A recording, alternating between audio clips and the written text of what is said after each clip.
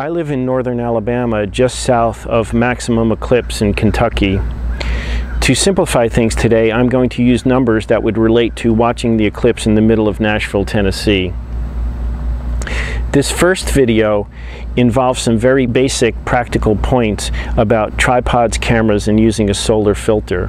The first thing to consider for, for photography is can your tripod get your camera gear to point to 63.5 degrees in the sky? For us in the southeast, the good thing about being close to maximum eclipse is we get the maximum totality time. But at maximum eclipse, the sun is at the high point in the sky for your latitude. So in Nashville, the eclipse is going to happen at 63.5 degrees. You have to do a test with your tripod, the camera you plan to use with a solar filter on it in the configuration that will work for positioning your legs and other adjustment knobs on your camera and tripod to get to point to 63 degrees.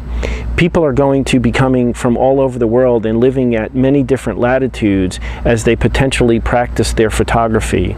But practicing is different if you are doing it in Canada versus doing it in Mexico. It's different if you will be buying a camera in the winter and getting your gear ready in the winter to prepare for the clips because you as you practice the sun will be lower again depending on your latitude. So you have to make sure that your camera gear can point to 63 degrees. This camera is pointed to the sun right now.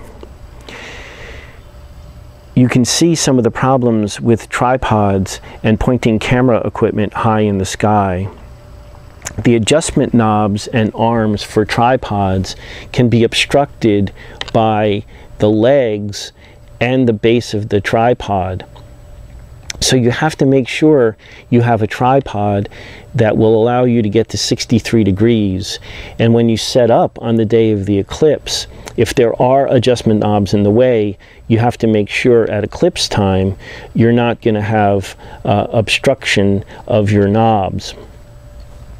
The eclipse will not move much during the time of totality, so you should be able to be within the spacing of your tripod legs. The other issue is focusing your camera. When you're pointing this high in the sky, it is very hard to get underneath your camera to look up and do manual focus. You will not want to use autofocus during a total eclipse because you cannot trust that the autofocus will be able to pick up what it needs to pick up to continue to focus as the sun goes through the partial phases to a small crescent and then finally to totality. So autofocus and auto exposures are generally not suggested for eclipse photography. There is more on the internet about taking the photography and doing exposures. The point of this video is to talk about the technical aspects of your tripod, having the ability to rotate at 63 degrees and not get obstructed, being stiff enough to not drift when you have all your heavy camera gear on the tripod, and using manual focus and being able to get to the eyepiece to focus on the sun.